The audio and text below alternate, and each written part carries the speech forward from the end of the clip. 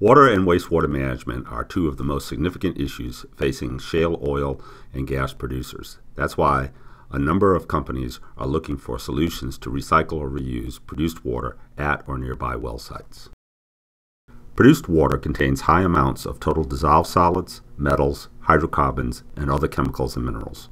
These impurities are often handled through evaporative processes. However, MVR and other evaporative systems are expensive to build and operate. That's why Thermo Energy's CAST systems offer a better solution. In June 2013, ThermoEnergy deployed its mobile CAST pilot at an oil field in Midland, Texas, the heart of the Permian Basin shale play. ThermoEnergy wanted to test the effectiveness of the system in recycling high TDS produced water from nearby oil wells. Thermo Energy's CAST systems have been successfully deployed at over 85 sites in 27 industries. These proprietary flash vacuum assisted distillation systems operate at low temperatures and have high heat recovery. This makes them economical to operate and easy to maintain. They also use lower cost materials of construction, and unlike other evaporative systems, they are resistant to chloride corrosion, which is a critical consideration when treating produced water.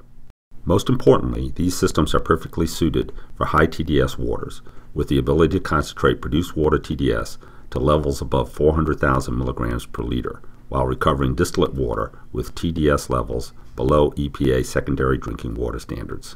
The recovered water can be reused for fracking or it can be discharged for agricultural use.